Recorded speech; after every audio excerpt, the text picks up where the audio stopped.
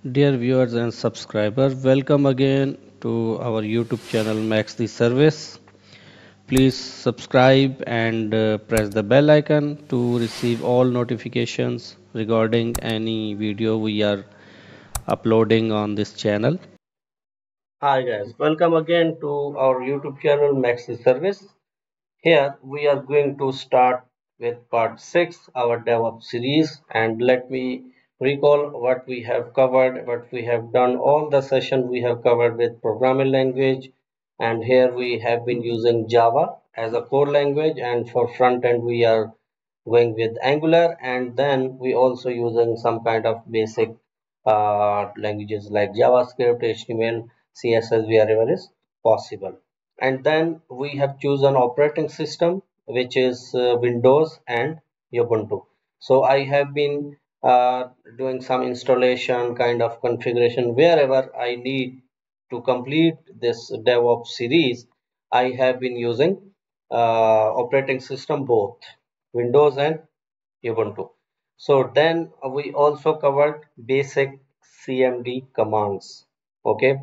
Actually we have to have uh, knowledge of uh, all the commands used uh, with command line interface so we have presented uh, many session how to do with uh, windows and how to do with ubuntu. All the commands i have been presented with example. You can search maxi service on youtube and uh, go for this session.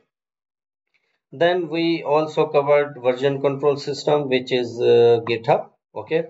For that we have chosen github. Because github is most commonly used uh, GitHub uh, version control system where we have uh, all the repositories, all the project there you can clone you can pull push and you can do your own practice and you can also raise some concern if you have you can ask any improvement or whatever you are required there.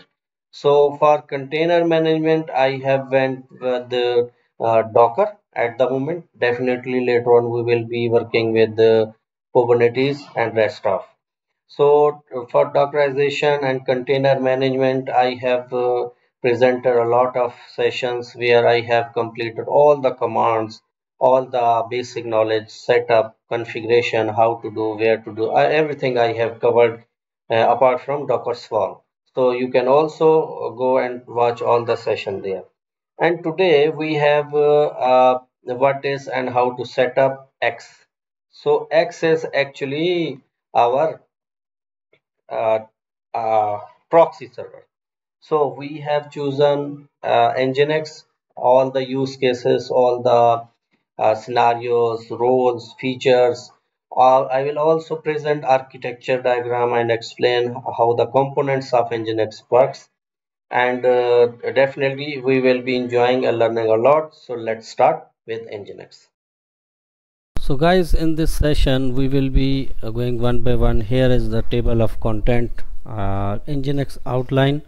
I will be discussing one by one. First of all i will go through the what is nginx either is it uh, open source or paid uh, which protocol it can be used. So what are the reliability websites and kind of application it supports. So after that we will also be discussing uh, use cases of nginx in which cases we can adopt nginx uh, like if you want to uh, have a web server we can also consider nginx uh, for proxies. Either it is a forward or reverse proxy. Can we choose nginx? How can we set up and utilize this web server?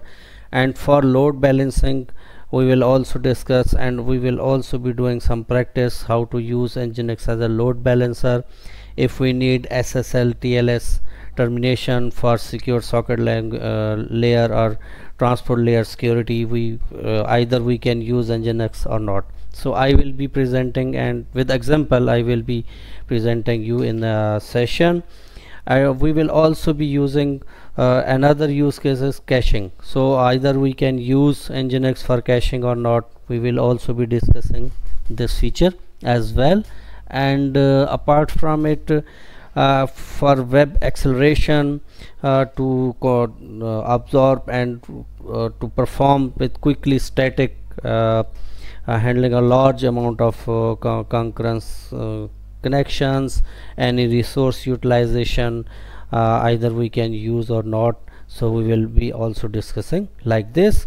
Uh, another use case uh, most of the time we use API gateway. So we will also be doing some practical example how to use Nginx with API gateway.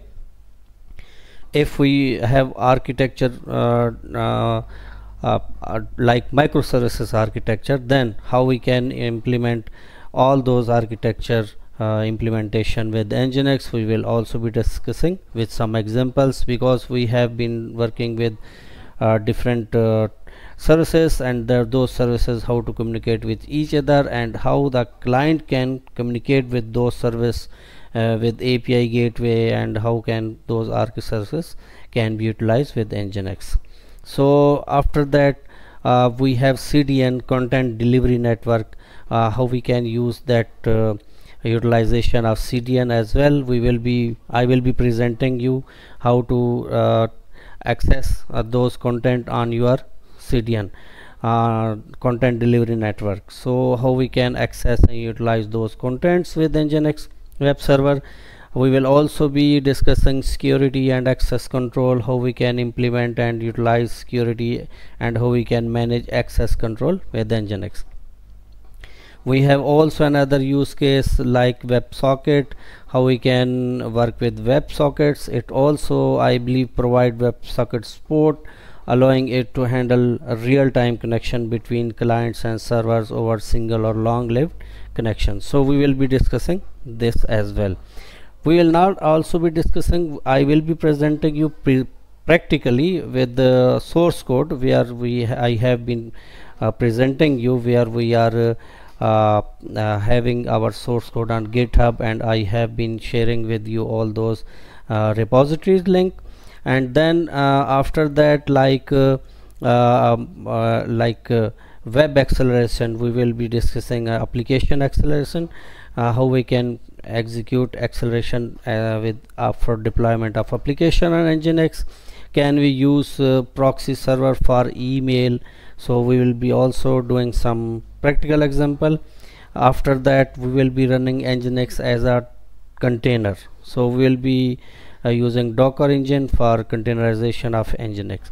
So after that uh, we will be discussing and uh, I will be presenting you features of nginx like uh, how we can perform high high performance reverse proxy load balancing SSL TLS caching web uh, acceleration HTTP to support WebSocket security features, access control, dynamic move module support, logging and monitoring. We will also be having uh, logging of the application and we will be using Nginx for monitoring those application. Uh, we will be having some configuration, uh, how it is providing easy configuration uh, Nginx. So uh, I will be discussing high availability and redundancy feature with this uh, tutorial after that we'll be discussing docker and containerization as we have discussed. So we will also be uh, uh, discussing workflow of nginx. So workflow in under workflow of nginx uh, what what is installation. First we will be doing some installation installation then I will be showing you configurations. So then I will be define some server blocks. Uh, then we have locations uh, because we can configure location within server blocks uh, to define how nginx should handle different type of request including static or dynamic or application specific uh, endpoint so apart from reverse proxy setup we will be doing this like load balancing ssl tls configuration caching monitoring logging security setting testing restart or reload. How we can restart and reload what is the difference with restart and reload of nginx so scaling with high availability and ongoing maintenance. So after that uh, we uh, will be discussing like uh, nginx works and architecture how the nginx architecture works. I will be presenting all the co components being interaction with each other and the responsibility and role of each component within nginx architecture. Because uh, core principle of nginx architecture like it is event driven based non-blocking uh, to handle multiple connection efficiently like master worker model modular design and uh, lightweight and efficient so we'll be discussing how these features uh, principles works with uh, nginx architecture. In workflow uh, how client request and how the uh, it listen to the socket and how worker process start processing and how the request is being processed and how the nginx server response i will also show you how this workflow works in architecture uh, we will be discussing like master processes worker processes modules uh, and key benefit like high performance scalability scalability uh, apart from uh, stability security and flexibility. So all those use cases like web server reverse proxy load balance mail proxy we will be uh, covering in this uh, series so uh, uh, for installation and configuration nginx i will be presenting how to install on ubuntu uh, and also on uh, windows and how we can use uh, uh, Microsoft Windows.